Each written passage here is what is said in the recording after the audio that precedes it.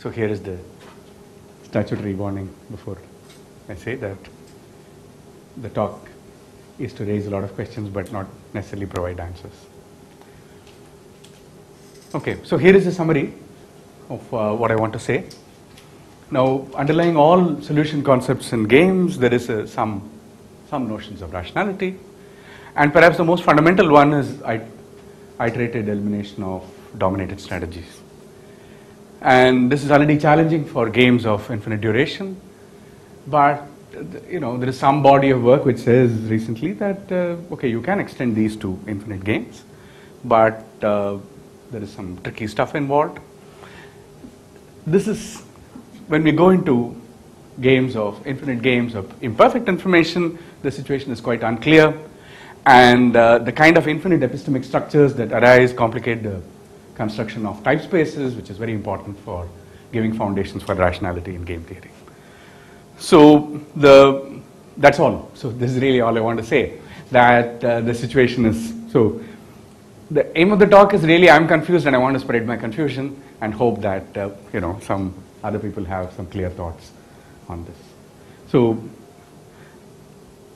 I don't think uh, there are good uh, positive results to show, but it's more to discuss some kind of work in the area. And uh, much of it is by other people, but I have done some little bit of work that I mentioned as well. So it's not report of one particular piece of work, but talk about problems in the area. That's really what I want to do. Okay, so the underlying assumption of classical game theoretic analysis, players interact in an ideal world. Players are perfectly rational. Some rationality postulates. They have perfect knowledge about all possible strategies of all players. And they have unbounded computational resources and common knowledge of rationality holds. That means that the, that's a basic assumption where every player is assumed to be rational and every player knows that every other player is rational and I trade this infinitely. And equilibrium theory typically talks about existence of stable strategies. That so you can think of it as a prediction of play that what players would do. Stable in the sense that you look at whether a player is likely to switch away from whatever equilibrium predicts.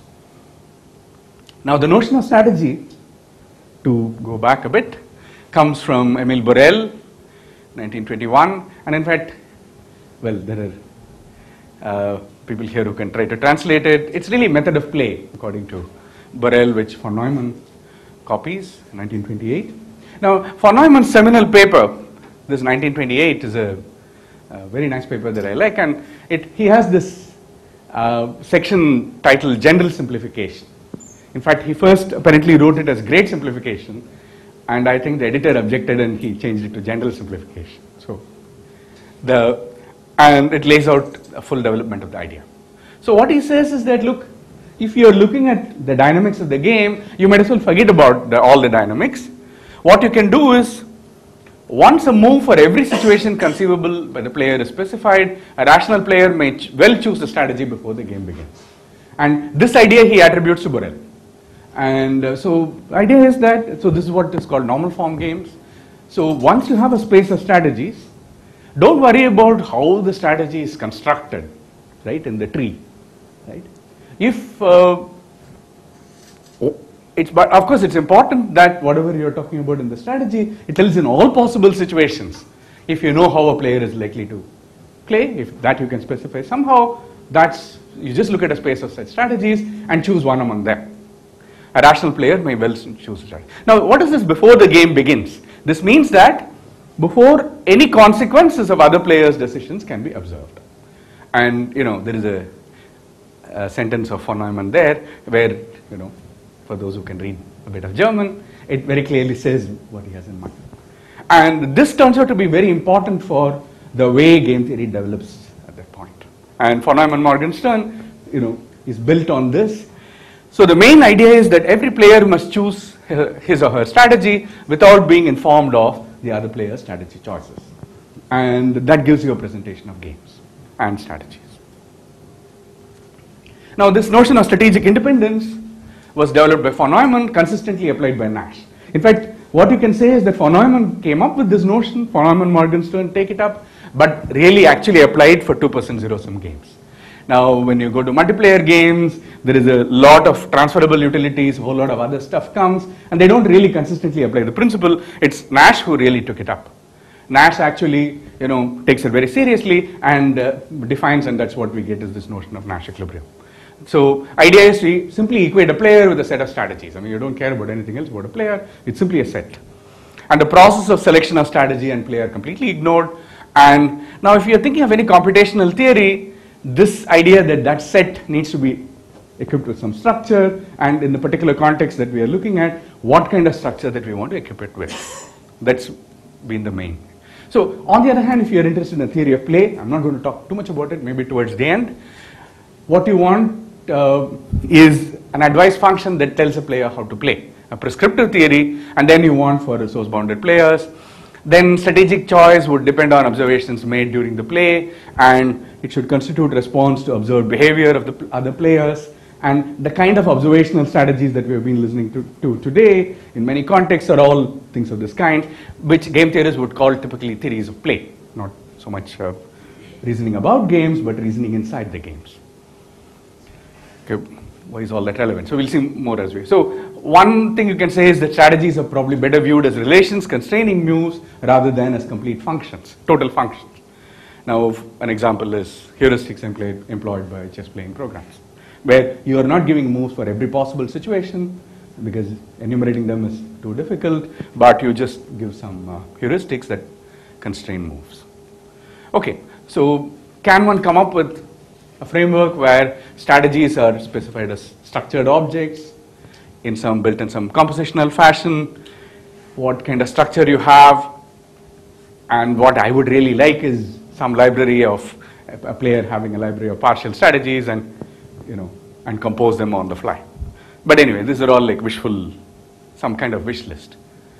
And we are now going, what we are going to talk about is games of unbounded duration, and we want to talk about reasoning in games, not about games.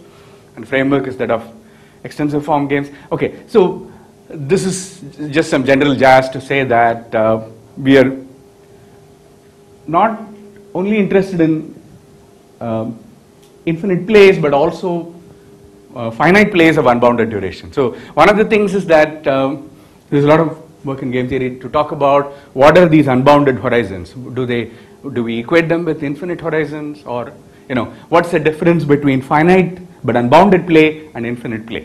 So we want to think about these things as well. Anyway, I'm not going to have much to say. This is just okay. So I'm I want to get to iterated elimination of dominated strategies, which is going to be the main thing that we'll talk about. So here is a little crash course on the basics of game theory. So those who know all this very well, please forgive me, but this is just to get us going. At least Professor Parthasarathy is not here to embarrass me. So he's an eminent game theorist who was there earlier in the morning. So okay. So fix a set 1 to n to talk about players. And so our idea of a strategic game, so that's what we're going to discuss quite a bit of for a while, is you have n non-empty sets of strategies and you have a payoff, uh, payoff functions for each player where from the set of strategy profiles, which is simply the product of the strategy spaces for the n players to the reals. So this is the strategic form. And in general, S minus i denotes the tuple of the profile of whatever other players the opponents have. have. And this is this, the basic notion. A strategy SI for a player I is a best response to whatever the opponents have. If for all SI prime, that is, if whatever choices, so you fix opponent behavior, assuming that the opponents are going to play these, this is the best response that I can think of. Right? It gets the, the maximum payoff. Okay? The payoff that I get with the SI is greater than or equal to any SI prime. And you say a profile is said to be a Nash equilibrium if for all SI is the best response to S minus I. So simultaneously for every player, assuming that the other players play S minus J, Sj is the best response. And you say a profile is Pareto efficient if there does not exist any profile S prime which gives better payoff to all i, at least as much payoff, and at least for one person is better off, right? You say that S is Pareto efficient, that means that you can't find any other profile where every player is at well off, at least as much well off, and at least one player is better off. If you can't find any such thing, then that's what you call Pareto efficient. And in general, Pareto efficient solutions is what people are interested in. And uh, so, and the basic principle of rationality is that of dominance.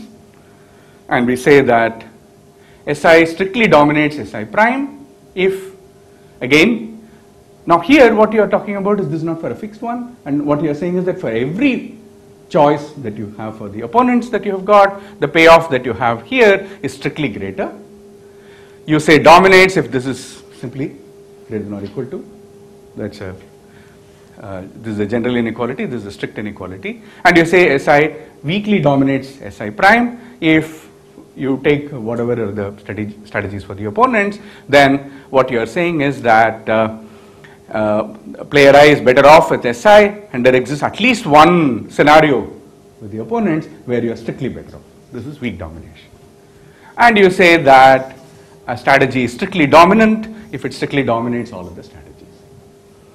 And uh, the basic principle says, and of course then you can talk about a strategy being weakly dominant or dominant. Yeah? Any? Weak domination is a stronger condition than domination. Yeah, that's all. Terminology, yeah. And uh, so the basic idea is that a rational player would never choose a strictly dominated strategy. This is the, in some sense you can say this is, you can take as the defining principle of rationality in strategic form games. That, uh, any questions about the definitions? This is it. Okay. Now, the, in general, you can say that, well, why would you, what do you mean by that? In general, a player doesn't get a better payoff by switching from a dominant strategy to another. If you've already got a dominant strategy, you know, there is no real incentive to switch from that. And so if you have a profile such that SI is dominant for all I, every player has a dominant strategy, then surely it's an Nash equilibrium. Because it's in fact the best response um, for, for every player, right, to the opponents. Now, this conclusion also holds when each SI is weakly dominant. Now, what about the converse? The converse, if SI is strictly dominant, then S is a unique Nash equilibrium. If, uh, if you've got a profile where each SI is strictly dominant, then you can easily show. Okay, and the converse of the above is not true. Now there are a series of little statements here because I know that there are several people from my game theory course sitting here. So these are all propositions to prove. And if you have not proved it, it you should prove it. So now let me see what else. Uh, yeah, maybe weak dominance. Weak dominance is a much more, uh, much uh, more tricky one. Maybe before I go, at least one example. So here is an example of game.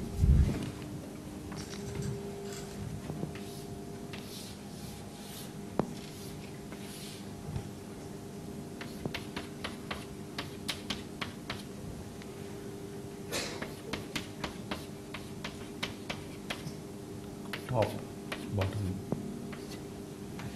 Right. So now you can see that T is weakly dominant for row player.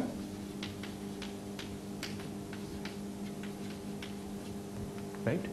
And uh, L is uh, R, right? L is weakly dominant for for column. And of course, TL is a Nash equilibrium. But then there are more Nash equilibrium, right? TR, BL are also Nash equilibrium, right? So in general, if you are looking at uh, weakly dominated strategies, weak, weakly dominant strategies, doesn't give you um, all the equilibria that you might look for. So this connection between these is something that's uh, important to note. But in the case of strictly dominated strategies, it's very clear that we want to eliminate them because uh, a player is not going to play any strictly dominated strategies. And the basic procedure that we use is to iterate it, uh, to iteratively remove strictly dominated strategies. Because the player is never going to play that, you might as well get rid of it and then look at a reduced game. Once again, there will be some, if there may be some strictly dominated strategies, you want to eliminate it and you want to keep doing this. And so this is the basic idea. The basic procedure, you can say, for talking about uh, rational, predicting rational behavior. So, iterated elimination of strictly dominated strategies, either simultaneously or in some order, right? because there can be lots of them. Now, which one are you going to eliminate? So, that is the question. So, there is a procedural question that's involved here. So, in general, so fix some subset of strategies Ri, and now we say that you talk about a restriction of the game. What is the restriction of the game? Where for every player you have talked about some smaller set, and this restriction is naturally defined. And now you can talk about a reduction between restrictions. R uh, strictly reduces to S prime, if S prime results as a result of some removing some strongly dominated strategy, strictly dominated strategies. This is strongly, strictly. Okay. I use both. Okay. So when is it? R is not equal to R prime. That means you have eliminated something. And for all I, you've got a subset here.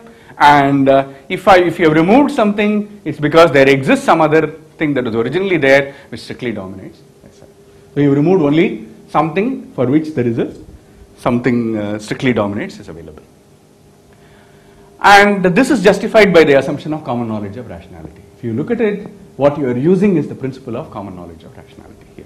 If you take rationality to be the fact that a player would never play a strictly dominated strategy. Now, in now what are the things that you can say about the solution, right? What you got left with. Take a game G and after some finite set of moves, I mean a finite set of uh, elimination like this, you have got a restriction. Now, if it is the case that there is no further restriction that is possible, then you say this is an outcome. An outcome is one where you iteratedly removed strictly dominated strategies until you cannot do any further. And if you find that you have left with a singleton for every player, then you say that the game is solved by iterated elimination of strictly dominated strategies by the procedure. Now, what are the properties of this? Okay. So in general, I start with the game G and I apply this procedure until I cannot, I get G prime. Then we can show that every Nash equilibrium of the original game is a Nash equilibrium of the reduced game. What about the converse? Converse is generally not true. If G is a finite game, that means what? The strategy sets that I was starting with were all finite sets, finite sets of strategies. Then any Nash equilibrium of G prime is also a Nash equilibrium of G. So for finite games, the original game that you begin with and the reduced game that you are looking at have the same Nash equilibria. For infinite games, generally this is not true. If G is finite and solved by IESDS, the outcome is in fact a unique Nash equilibrium. So the, this procedure is very nice because uh, for finite games at least, if you end up with singletons, you know that what you've got is a unique Nash equilibrium. Now, but that's in general not true. In the case of infinite sets, no. So already the difference between finite games and infinite games starts cropping up in the very basic level. That's what I'm pointing out. But of course, with infinite games, the story is much worse. Now you can ask, is the outcome of this procedure unique? I said you can either remove them all simultaneously or do it in some order. Will we get different outcomes if we do it in different order? And so is strict dominance order independent?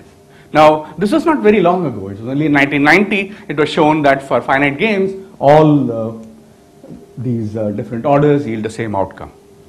And uh, and Sigmund 2002, where they showed that order independence does not hold in general for infinite games. And uh, 2007, Apt had a, a theorem where showing some kind of order independence, order independence with some monotone restriction. So it's in general not true that, that so this is one of the first important things that I want to make a point about. So if you're going to look at uh, infinite games on finite graphs, whatever, games of infinite duration, first thing to watch out for is that even if you have, luckily, a situation where your uh, iterated elimination of strictly dominated strategies gives you an outcome, in general, it can be order in, it can be dependent on the order in which you do things. What does iterated elimination mean? Yeah, so we'll come to that. I'm just saying, no, but it's very clear now with just the presentation that I've given, right? Just a set. I gave you n sets and I gave, see, look, so far there was no finite assumptions anywhere. I just started with a tuple of strategies and started the whole thing, right? n sets of strategies and I said, so these are just infinite sets. I had no cardinality assumptions anyway. Bay mentioned that. I never said finite. I'm specifically saying things for finite games here, right? The point being that in terms of what are the properties? In terms of properties, you see the difference, right? Here, this is just a relation. It's just a relation between restrictions. All you are saying is that I start with a space of strategies and I'm making looking at subsets by removal, right? So this is infinite. I remove some finitely many strategies and I get another infinite set. I keep on doing that. The point is that if you ever arrive, right? So look at the properties. So I'm that's why I'm being careful here. I'm saying if you've got an outcome, right? If G prime is an outcome of G, then that preserves Nash equilibrium, right? And I'm saying in the finite case, it's the same thing. There is no problem. But in the infinite case, what is the situation now? It may be that you could have, uh, you know, Nash equilibria in the new game, which were not Nash equilibria in the original game. Right? That's possible now. That construction is not uh, very trivial, but I want to say more things, so I'm postponing that. Right? There are more problems anyway, so this is one of the problems. Right? So how much of these you, you get if you iteratively eliminate? I I'll come to that also.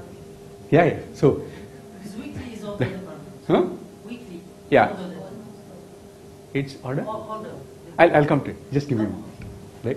Let's first, I'm saying, see, the point is that in terms of rationality questions, with strictly dominated strategies, there is no ambiguity at all. I mean, if there is one thing that game, game theorists all have a consensus on, that is to say, a rational player would never pick a strictly dominated strategy. You change the notion even a little bit, there is a lot of disagreement among game theorists, uh, you know, for a variety of reasons. So I don't want to get into it. So weak dominance comes with all kinds of problems. So, but my point is that even here with infinite games, we have problems to worry about.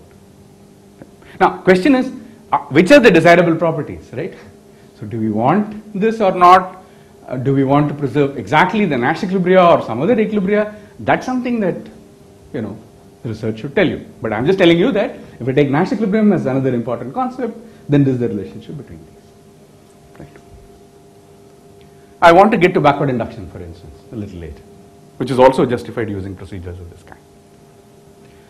Okay, so order independence is something that you do have for uh, at least finite games and infinite games we don't have for strictly dominated strategies. So here is a game. Okay, here is a, you know, with infinite games it's a lot more fun because, right? So here is, what is the strategy space? Set of natural numbers for every player. What is the strategy? You select a number, whatever you pick is it, right? That's it, one shot game. In this game, every, every strategy is strictly dominated, surely, right? In fact, we can remove in one step all strictly dominated strategies, being left with nothing. Or we can remove all strictly dominated strategies different from zero in one step, in which case we will be left with a nice Nash equilibrium. Or we can remove exactly one SDS in each step, in which case it will never terminate. Right? So this is to point out that, of course, this, I know, do you want such game? Nothing is ruled out, right? By my definition, it's a game. Right? It's an infinite game, and uh, so if you're looking at infinite games in general, bizarre stuff is waiting for you. Uh, if you're looking at regular infinite games, there's you know more structure that we'll make use of. But I think I have some more examples to talk about, but it can wait. Oh, I have some examples of removing dominated strategies, but we'll skip that. Okay. So the let's get to weak dominant. Suresh wants desperately. So now the in general you can define a reduction relation for weak dominance. I'm not going to write it. It's very similar. You can sit and do. And now you can ask if G prime is an outcome of removing weakly dominated strategies, what you can show is that if G in the in the finite case, what you can show is that whatever is the new Nash equilibrium in the new game, it is a Nash equilibrium of the original game. But the converse is not true, even in finite games. If G is finite and solved by IEWS, that means what? If you you eliminated weakly dominated strategies and luckily ended up with singletons, then it will be a unique. Uh, it is a Nash equilibrium. Even in fact, even in this case, outcomes are not unique. Some Nash equilibria can in fact be eliminated. So let's see. Here, here is an example of that.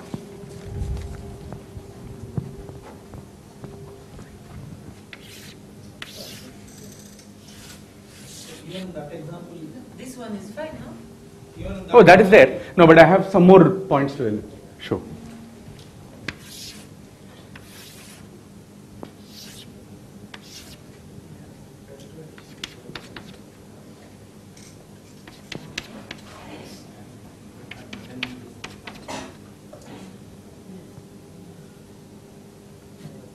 Minus 1, 1, 1 minus 1.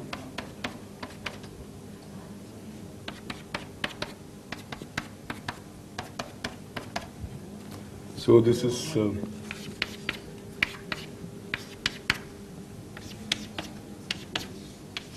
this is matching pennies extended by one more option, namely that it falls on the edge, right? So it's matching pennies. So if uh, you get if you get the same player, the row player wins, and the column player loses, and if the outcomes are uh, different, then uh, row player loses and column player wins. And in this case, both people lose if it falls on the edge, right? I mean, okay, why not? Yeah. So if you take something like this, here is the only Nash equilibrium.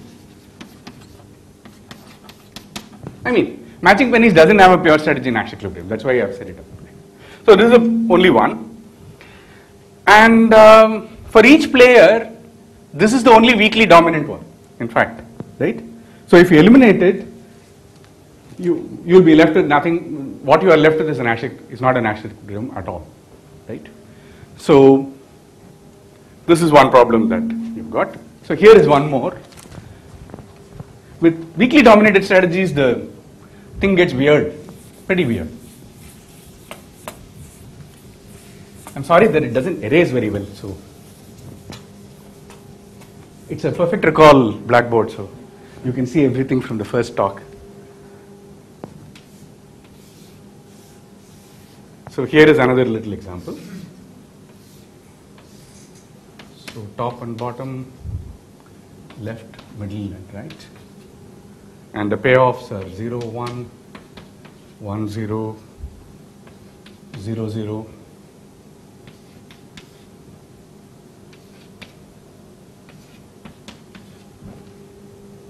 Right. So what are, so here is a game and uh, the Nash equilibria are PL, BL and BR. Oh, yeah. Now, if I apply the weak domination, the only thing that R is the only one that I can get rid of, and I get uh,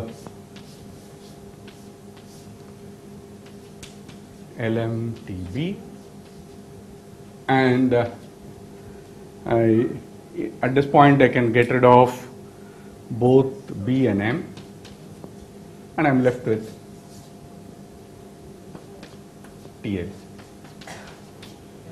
Right? So,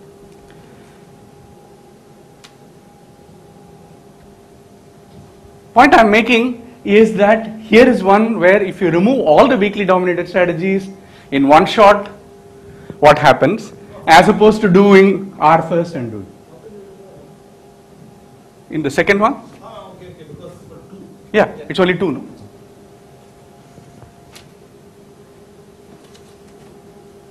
Um, what is the next example? Ah, yeah. Okay. Here. So th there are lots of problems with uh, weakly dominated strategies, and of course, when you get to infinite games, the situation is much worse. The other uh, notion that is much studied, and perhaps the one, in fact, which I like best, is the never best response. So one way, and uh, sorry which one? Where's TL in the chicken? Let's see, maybe it is. Yeah, because Yeah. But the two can't move to MR. Oh, sorry, I'm already confused with the, with the lines. I'm fine. Ah. No, no, but assuming that uh, you're going to pick T, should be okay. I wanted to write for the first player, which doesn't mean anything. Just read the wrong side. Yeah. So another notion that is considered in the literature, in fact Myerson has developed uh, quite a bit of stuff with this, is to eliminate strategies that are never best, never best response. If it is not a best response to any opponent strategies at all, why consider it? This is the idea, right? And the reduction here is the same. R prime results as a result of removing some never best response strategies, right? And so you can write the whole thing. And outcomes of um, the never best response have the same properties as strict, strictly dominated strategies removal with respect to Nash equilibrium. What I mean is that for finite games, if you do this never best response removal, um, the Nash equilibria of the reduced game are exactly the Nash equilibria of the old game. Infinite games, that's not true. And if you happen to be left with singletons, that will be a unique Nash equilibrium. So here is an example of eliminating never best response. So I'm just going to take these, give these examples of these finite games, these little ones, and for infinite games, I'm not, I'll just tell you, can't do anything about this.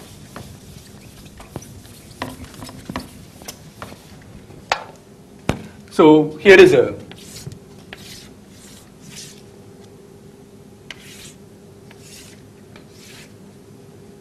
so there are three options A, B, C, X, Y, 2, 1, 0, 0, 0, 1, 2, 0, 1, 1, and 1, 2. So note that C is NBR here. Playing C is never a best response to anything that the opponent does. So, okay, so here is a, that's something that you can remove. And A is the unique best response to, to X. And uh, B is the unique best response to Y. Um, Okay, so uh, let me just, uh, now I have to speed up a bit to tell you that. So once again, point is that for finite games, there are some notions of uh, basic rationality that are well studied in the game theory literature. When you move to infinite games, in general, there are only negative results in these. And this is, uh, like I said, Apt's paper in 2005, that is to show that uh, this process is order, order independent for finite games, but not for infinite games. So, and this is all reasonably, this is TARK 2005, so it's not very old. Okay, what about mixed strategies? So this is a particular class of infinite games, right? Where you start with finite games, but the strategy, the infinite strategy space is generated by using probabilities over, by mixing the finite strategy set. So for this particular subclass, of course, there is a lot that is known because this is what is dear to game theorists. And you can show that iterated elimination of strictly dominated mixed strategies. So what do you what do you want to do? You eliminate pure strategies that are strictly dominated by some mixed strategy, right? And similarly, you can talk about elimination of weakly dominated by pure strategies, weakly dominated by a mixed strategy. So here again, I have one little example. Sorry. You can do it here.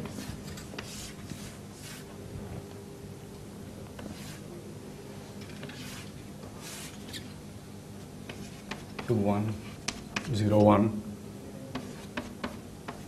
This is symmetric, so you know that that's going to be okay.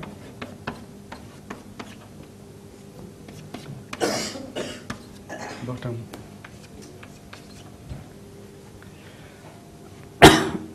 now look at B. This is not strictly dominated by either T or M, but in fact B is strictly dominated by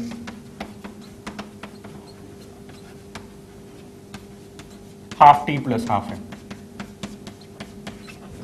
Right? So here is a pure strategy that is strictly dominated, remove. This idea. But the rest of it is the same, and I'm not writing the relations because there is a bit of a mess, notational mess involved, but I assure you that the theory lifts neatly. I mean, whatever I've been talking about, and the properties are very similar. But you can empty everything, no? I'm sorry? You can remove everything. If I take the matching pennies, for example. Why? No, that's not clear. No, not at all. Matching penny, you Matching penny, you get in fact the unique Nash equilibrium. Right? Half, uh, half H plus half T. all the pure strategies will be eliminated. Yeah, yeah, of course, of course, yeah. Okay. But that's because it has no pure, it has no equilibrium in pure strategies. It should go. Right? Then you get Right? So, in game theory, in general, a mixed strategy profile of opponents is referred to as a belief of player I. Okay, so this is another thing. Normally, when you talk about constructing beliefs, this is the, what you're talking about. Pure strategy combinations are called point beliefs. And now we can now consider a procedure for iterated elimination of strategies that are never best response to any joint mixed strategy or belief. And this is the idea of construction of type spaces. I'll talk a little bit about it towards the end. So for finite games, this procedure has properties similar to IESDS. Infinite games, um, if an outcome is reached in finitely many steps, then a profile is an NE of the reduced game, if and only if it is of the original game. Now, so as I said, for this is not for I didn't say infinite games here. I'm, I'm saying infinite games of this particular kind, right? So this is a particular subclass of infinite games for which something is known. Okay, so I think it's high time I switch to. Okay, so in general, relating notions of dominance and best response is not easy. So clearly, every strictly dominated strategy is never a best response, but the converse is not true. And there is no relation between weak dominance and never best response. I mean, strictly, uh, you can show games and both sides, one is better than the other. And there is a very nice theorem by Pearce in 1984 about uh, relating domination by pure strategies and mixed strategies, right? A pure strategy is strictly dominated by a mixed strategy if and only if it's not a best response to a mixed strategy. And a pure strategy is weakly dominated by a mixed strategy if and only if it's not a best response to a totally mixed strategy. There is one with full support, where every option is chosen with pro- positive probability. This is a this is a very tricky proof. It's a short paper with really terse this thing. There are better proofs by Friedenberg and uh, Brandenburger recently, the last few years. So, but this is one of the very difficult theorem to prove something like this in general for mixed strategy. Okay, so point I want to make is an analog of something, any of these for if you want to look at regular infinite games is very hard to prove. And that's really where I want to get to. Okay, infinite games on finite graphs. Well, we have talked, I, I don't want to define anything now because it's all been defined and used by people in earlier talks. So, but that is what I want to talk about now. So games of infinite duration studied in automata theory and typically win-lose games between two players, turn-based. Game arena is a finite graph and the game is the tree obtained by unfolding and strategies are now maps from player nodes to incident edges. And uh, in the tree. So one thing, another procedure that I should have talked about earlier in extensive form games is backwards induction. It is the basic procedure and justified by common knowledge of rationality, common belief in rationality to be precise. And uh, of course, a priori there is no backward induction procedure for infinite games. Now, what is backward induction? You have this finite extensive form game. You know the payoffs at the leaves, right? So at any non-leaf node, you look at whose turn it is to play. It's a turn-based game. And if there exists, whoever is in control, if there exists one leaf where the player is winning, or take the maximal payoff, say that is what that for that node. Promote it, keep going up, you will do. Now that's for finite games, you can start with leaves and go up. What about for infinite games? Of course, there isn't any. Now for parity games, there is a construction due to Dietmar, and uh, there is for Muller games with payoffs, Sunil and uh, Soumya had a result where there is a kind of a backward induction argument that you can give. The idea is that these are regular infinite games, so even though you see an infinite game, there are only finitely many isomorphism types of subtrees that you see eventually, right? So some kind of finite unfolding you can do, after which you can cut off the tree. The idea is that whatever you are going to see afterwards, you've already seen before. So, for instance, uh, in their paper, it is the that LAR construction of, uh, I guess, originally Gurevich and Harrington. So the LAR provides a data structure by which you can actually uh, decorate and find out at what point everything is going to repeat, cut it off, and on the cutoff tree you can do backwards induction. This is the idea. I mean, there is a bit of technical stuff involved, but you can do. So my point is that, okay, here is at least one procedure that you do for finite games, which you can lift for infinite games. Question is, I am more interested in what all things you can do, how far you can go, and what kind of rationality assumptions underlie in these things. So this was one exercise that was part of that thing that we were doing. Uh, but backwards induction comes with its own problems. Maybe I'll take one little example to show or no. Another example that's probably more interesting. So another is subgame perfection. Now maybe I'll take an example and then show. So in regular infinite games, I, I have only very small examples to talk about. So, so here is a an example from Michael Ummels, and uh, so it goes something like this. So this is a two-player game, as was used in the last talks. Circles correspond to player 1 making a move and squares correspond to player 2 making a move. It's a two-person game. So the game looks like this. Player 1 has control, can transfer control to 2 or stick here in a self loop. Here 2 again has self loop here. So it's a game on a finite graph and you have infinite plays. And you, this, here is an interpretation in the story. I mean, there is an underlying story. So there is a shared resource and there are three players. Okay, player three has, you know, staying outside the graph. Poor player has no control node at all, right? At the mercy of players one and two. So player one, right at the beginning, can give choose to give access to two and three. or give control to player 2 pass control to player 2 and uh, here then player 2 can simply give access to the resource to 3 or share with 1 and apparently this is some resource uh, part of some resource sharing protocol and so on. Uh, you refer to Ummels. I don't know whether to believe it or not, but I presume there is one, some protocol. Okay. So what are the winning conditions? This is a win-lose game, and the win winning condition is one wins if uh, five is visited infinitely often.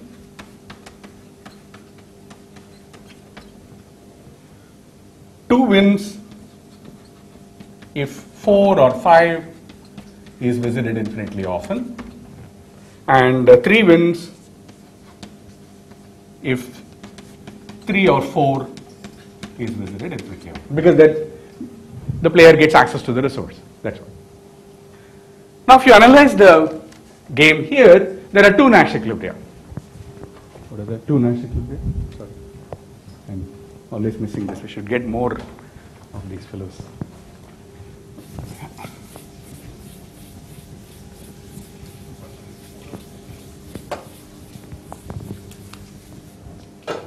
Yeah. So one is where player one transfers control to two, and two gives control to.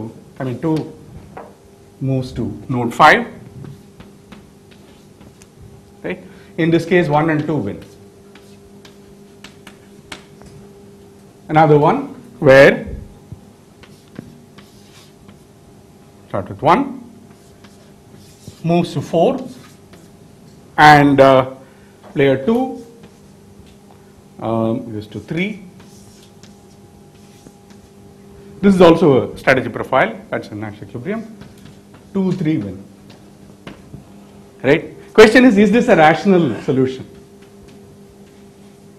I mean, if player 1 is going to make move to doing this, player 2 might be better off actually sharing the thing, you know, going down. Now, but this is exactly the question that's raised by uh, this notion of strategies. But remember that in terms of our notion of strategies, best response that we have defined, this is perfectly fine and it's indeed a Nash equilibrium. So that's why there is this notion of subgame perfection. A subgame perfect strategy profile is optimal for every possible initial history of the game, including those not reachable in equilibrium play. And this was uh, called behavioral strategies. Kuhn developed an extensive theory of it, and there is a great theorem of Kuhn where he shows that every sub finite sub extensive form game has a subgame perfect equilibrium, and uh, including with mixed strategies. Okay, this is the important point here. I say finite games here, but and so for infinite win-lose games over finite graphs, what is in fact it's not clear what is the right subgame perfect notion because now what you are talking about is that uh, you know this, these infinite subgames, right? So what are the strategies that you are getting from there that you compose to get strategies over the game? It's not clear at all. I mean, I have my quarrels with the way it's defined in these particular papers, but the point is that that's quibbling. The main point is that there is some appropriate notion that you can define, and you can show that Nash equilibria exist, subgame perfect equilibria exist, and hold for Borel objectives. You know, Soumya was defining all these. So there is a way you can lift the theory for win-lose games. For Muller games with payoffs, subgame perfect equilibria, in the sense that we can define, need not exist, but one can algorithmically check whether, given a graph, whether they exist or not. So here is another. What about iterated elimination of strictly dominated strategies? For regular infinite games, this is very tricky. The outcomes are generally called admissible strategies, and it's not reasonable. See, there are many problems here. Suppose we want to start eliminating strictly dominated strategies. Now, you, you can talk about two strategies and one strictly dominating the other, right? Now, you don't want to eliminate a strategy unless some other strategy that eliminates it, that dominates it, survive, right? You would like to make sure of that. But this is not easy. The elimination procedure may in general need infinitely many steps to stabilize because as you go on, you keep iterating, when are you going to stabilize at all? Will you stabilize and when? And this is uh, Dietmar Berwanger's theorem, which says that a set of iteratively admissible strategies in an omega regular graph is regular.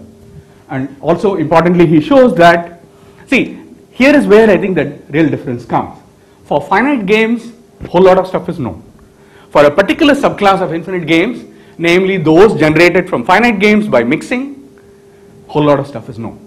But if you take countable sets of strategies, right, where you have infinite games, infinitely many strategies, but the strategy sets are countable, it's very difficult. And here is a, this is one paper that gives a theorem that says that if I work with countable strategy spaces, whatever they are, the procedure actually terminates. There is a fixed point, and a fixed point you can reach at some ordinal. You can actually compute that. If it so happens that you are starting with these as the strategies were from omega regular graph, they have an automaton representation. That construction given in the paper is non-elementary, but recently there is a work giving a p-space algorithm for actually constructing these admissible strategies. So if you want to think of admissible strategies as providing a solution, then that's very important because uh, you're not just looking at uh, some particular procedure, you want to know, not, you don't just want to know that there is a solution at the end, what is the quality of the solution, right? For example, I can think of LTL specifications and say that uh, they hold for the admissible strategies, right? Using admissible strategies, I can, you know, achieve an outcome. And this is the sort of thing one would like to do. Now, strategy profiles that survive iterated elimination of never best response are said to be rationalizable. And rationalizable strategies is really something that the game theorists have spent a lot of time on. Again, for infinite games, this iterated elimination is tricky. For general win-lose games, they need not terminate.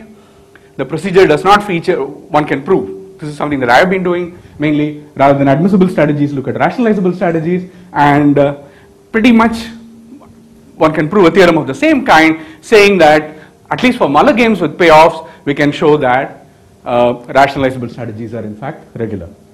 And uh, one can show that they do not feature so-called non-credible threats. This is important for this. Uh, but, but formally, this is a property. Every rationalizable strategy in a subgame is the restriction of some rationalizable strategy in the original game. So, in fact, uh, I would say that this is a better notion than subgame perfection that we want to use. So, because what you are saying is that right on top, the strategy that you pick, see, what is rationalizability? If you think about it, I am in the game tree somewhere, right? Oh, it's on the other side. So, rationalizability is about the following way of thinking. Informally, this is really what is going on. And to me, that's why it's very interesting.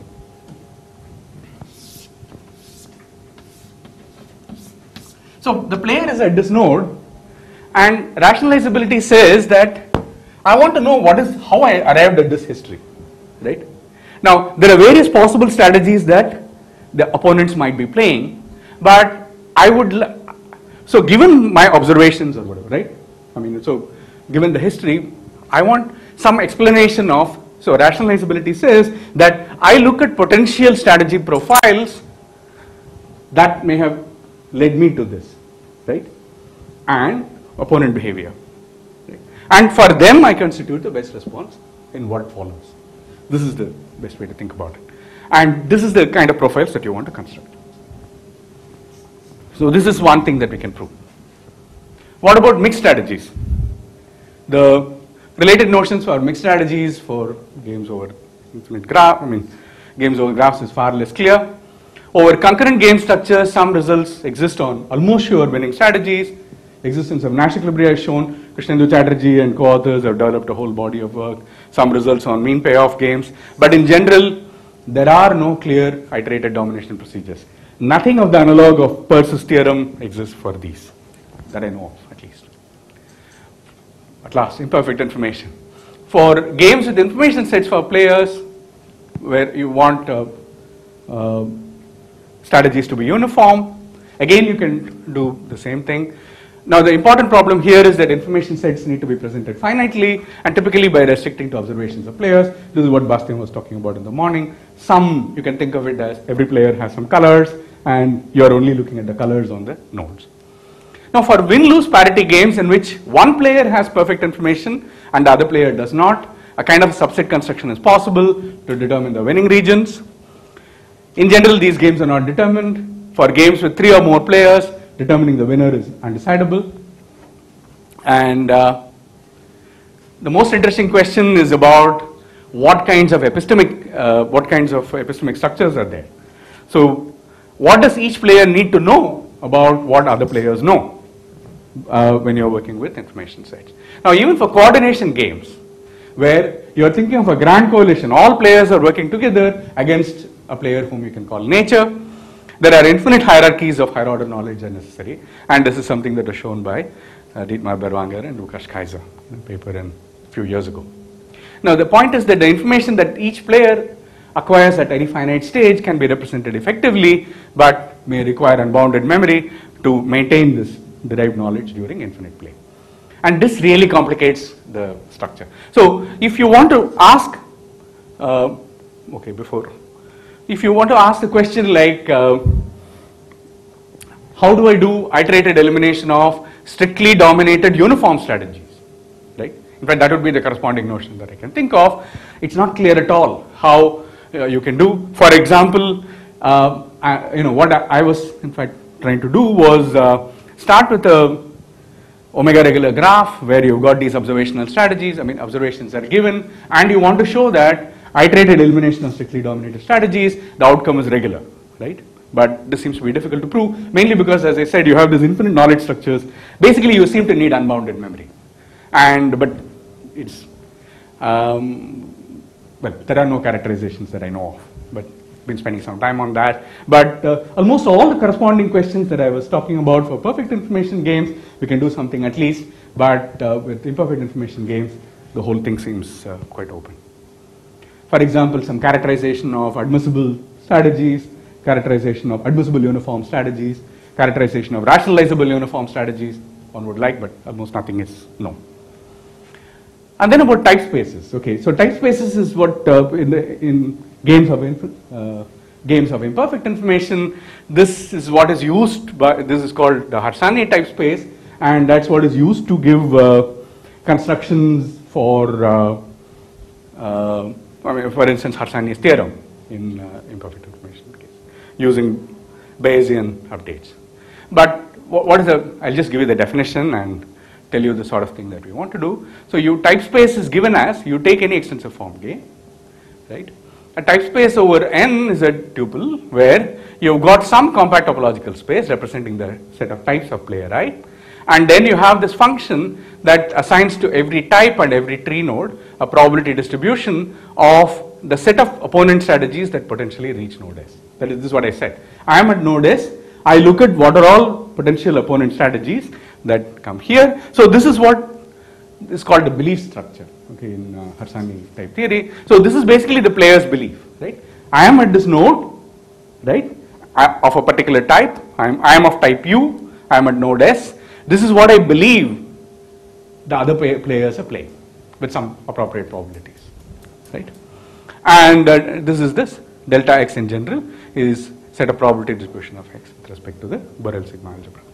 Anyway, so this is the notion, and uh, this is all the completeness theorems in game theory are with respect to this. Now, if you're going to build a similar thing, what we want is for infinite games of imperfect information, we want to come up with some appropriate type space in which we want to do things. And my particular interest in this is rather than, you know, so this, this is all done for working with mixed strategies, right? For the particular class of infinite games, which are those started where you start with finite games and use mixed strategies, this is what is used. If you want to look at pure strategies, but for games of infinite duration, what is the right thing to do? And I would like to do this as a, you know, where the functions are computable functions, right? Rather than as continuous functions that you are looking at here.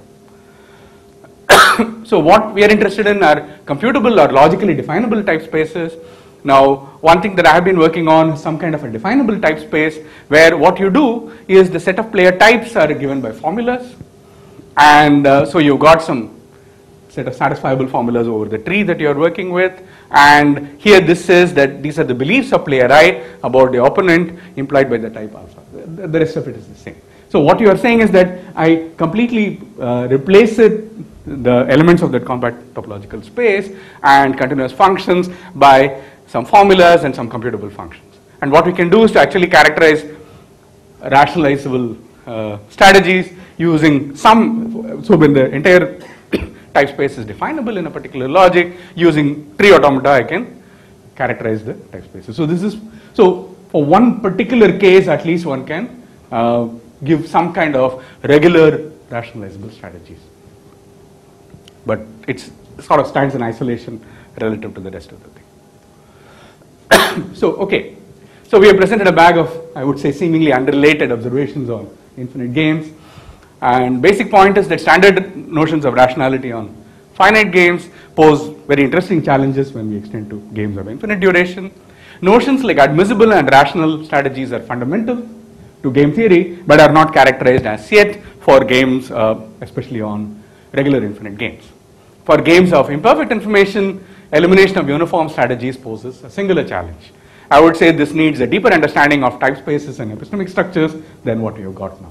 I think uh, we need to develop a much finer understanding of the type spaces that we need to work with if we have any hope of proving any of the basic results at all of uh, that are known in game theory for uh, infinite games of imperfect information, even for the regular case. Okay, that's it.